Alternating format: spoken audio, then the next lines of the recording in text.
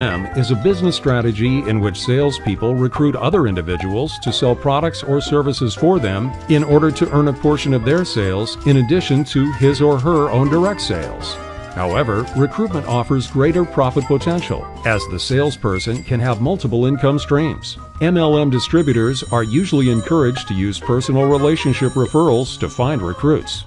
For example, John inherits an entire factory of silverware. John decides to sell the silverware directly, but also adopts an MLM business model. John hires his four younger brothers to sell his silverware. In exchange, John receives a portion of his brother's direct sales.